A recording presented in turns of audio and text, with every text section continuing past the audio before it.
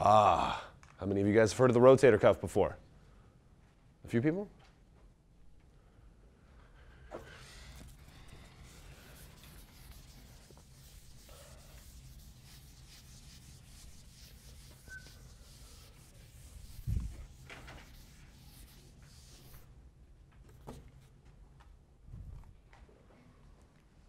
All right, we got this and one, this and one graph, and we'll go to lunch. Sound like a plan? So your rotator cuff muscles.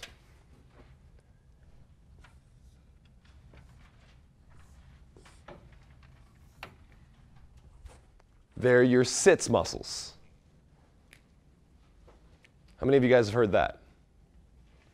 This creates a little acronym for you guys to memorize the rotator cuff muscles by. And if you memorize them in this order, it does help. It does help. I'm going to show you guys how you can make this. This becomes a graph that's really easy to remember. First thing you got to remember, unfortunately, is the names. Supraspinatus, infraspinatus, teres minor. Make sure you know teres minor. Subscapularis. Now I remember the first time I learned these muscles. The names kind of freaked me out. Supraspinatus. Sounds like a dinosaur, right? The supraspinatus. No? Or maybe I took that a little too far. But nonetheless, these names do tell you where the muscles are located. Remember, I said anatomy is just another language, so let's break this word down. Supra sounds like what? Superior, spine, spine. Spine, what bone are we on? Scapula. Does the scapula have a spine? It does.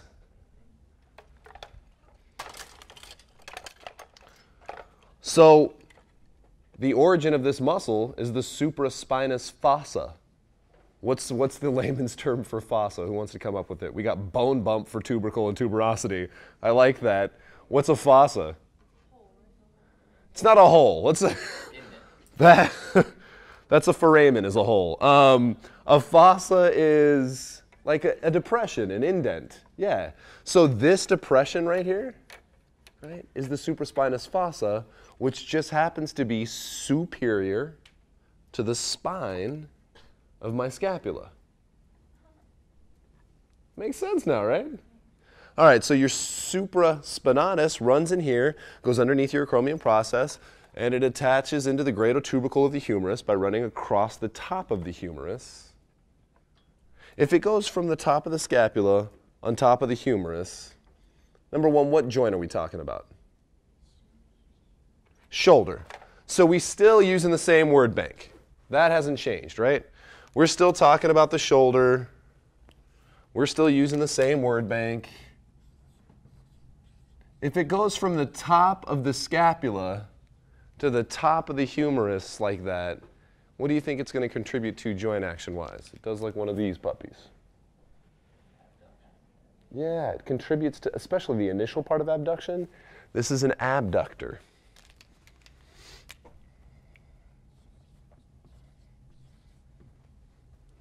Infraspinatus is in the infraspinous fossa. What was the fossa again? Indentation. Infra probably sounds like inferior spine. Spine. So this actually has some of the origins and insertions. You guys can come up here, like on your breaks and lunch, and look at some of this. This infraspinous fossa is all this. Right, so the infraspinatus goes from the back of the scapula to the back of the humerus. What's it going to contribute to? External rotation.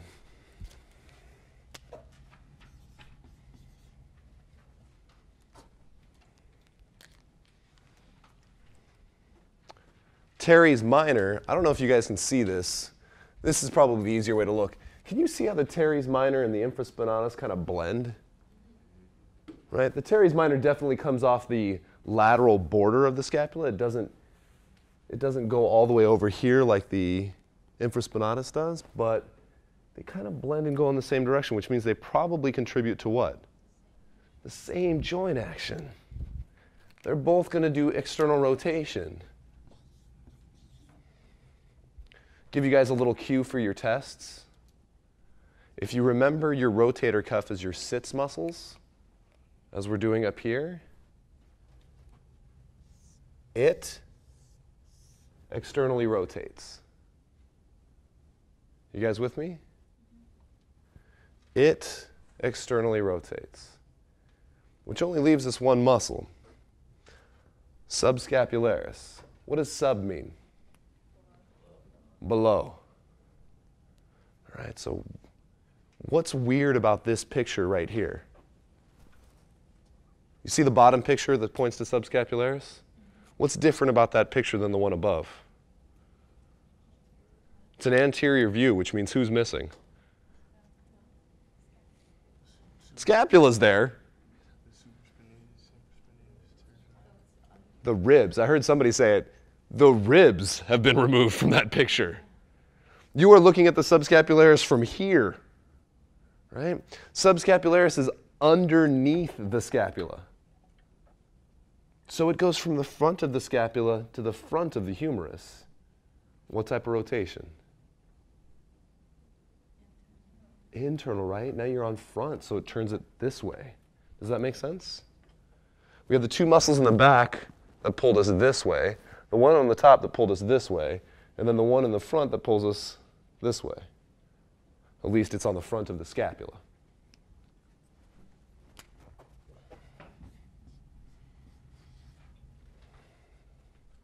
Now, a little aside, just to teach you guys a little bit about muscular function so you understand why you're learning all this stuff. The interesting thing about those, the rotator cuff muscles is yes, those are the joint actions. And they'll actually do some other joint actions as you get more into advanced kinesiology and you start talking about some other things that it'll do. But that's not the primary function of the rotator cuff.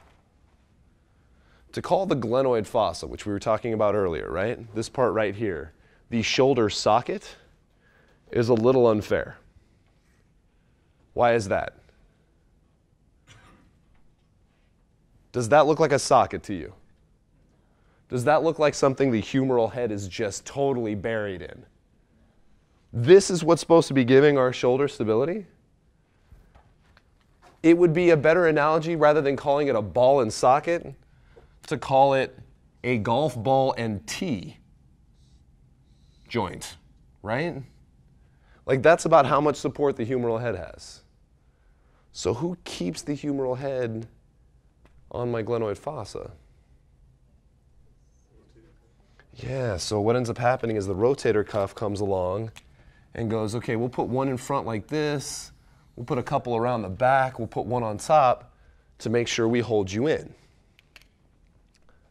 So, from a training perspective, what happens? Well, these muscle fibers for rotator cuff and all of our stabilizing muscles are mostly type 1. What are type 1 muscle fibers? slow twitch,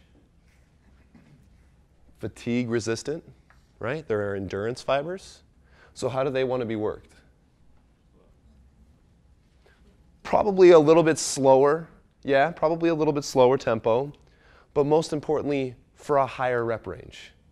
This is in our 1 to 6 rep range. This is our 12 to 20 rep range. And if we really want to get sophisticated, we'll do 12 to 20 reps at a slightly slower tempo. And since we know we're working on stabilization, we'll work on progressing exercises over time to more and more unstable environments. So getting off of machines, going to like dumbbells, maybe stuff on a stability ball. You guys have seen some of this stuff? Now that's really, really important.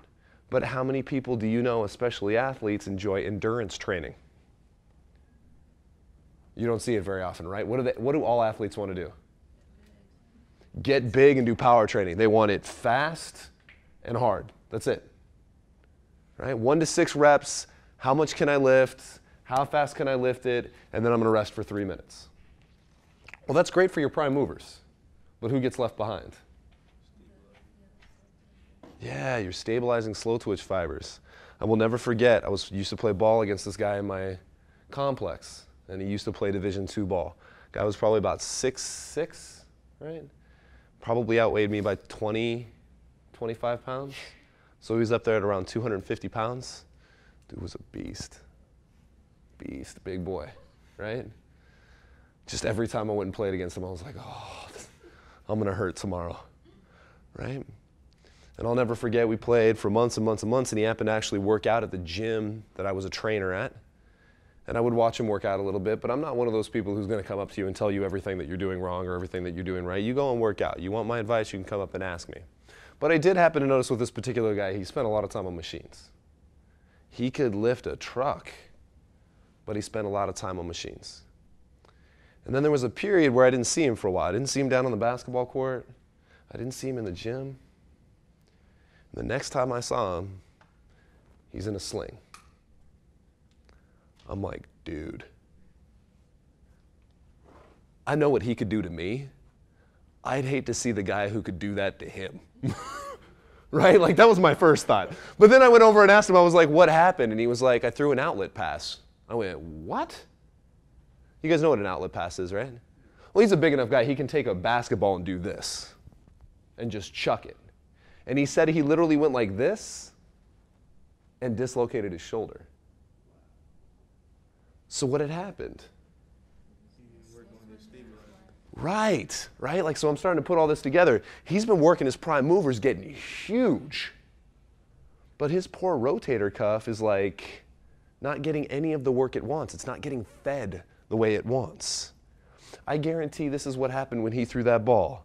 He saw that outlet pass, knew he had to make it quick, right?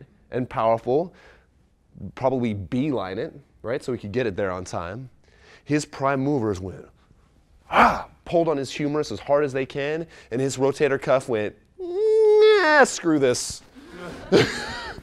right? Like, and he dislocated his shoulder. That's how that happens. And meanwhile, all he really had to do was some stability work. It's not like he needed to be any bigger to play basketball.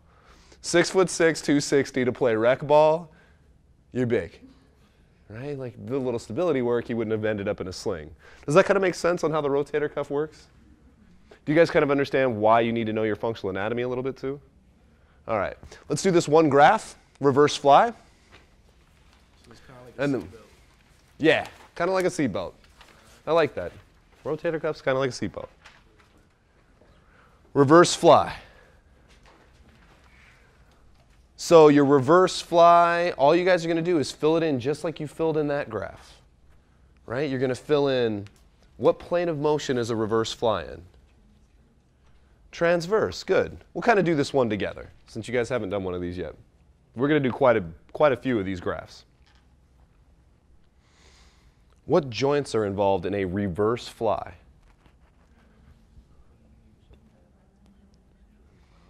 So my shoulder joint, and if my shoulder is involved, who else is going to be involved? My scapula. Right? So those guys move together. Anytime you guys write shoulder on any graph that we do, you need to write scapula too. I want you to think about them as two separate joints though. You don't write those in one box. But anytime you have shoulder, you're going to have scapula. So shoulder, what joint action is occurring at the shoulder? Horizontal abduction.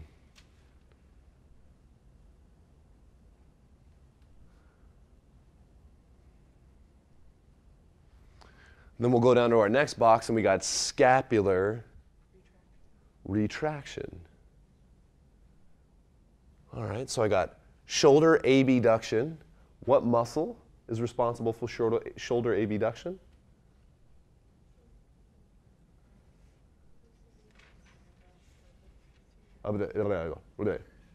It's a muscle that we've gone over to this point.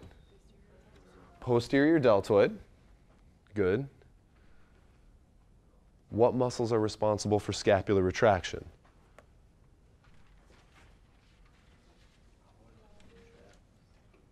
Rhomboids and mid-traps. We've already done that one before, right? It's a nice thing about learning these graphs, guys, is anytime scapular retraction comes up, who's involved? Who causes scapular retraction? Rhomboids and mid-traps. If I say scapular retraction, for a seated row? What muscles are responsible? Rhomboids and mid-traps. If I say a bent over barbell row with scapular retraction, scapular retraction is caused by rhomboids and mid-traps. You guys got it? All right.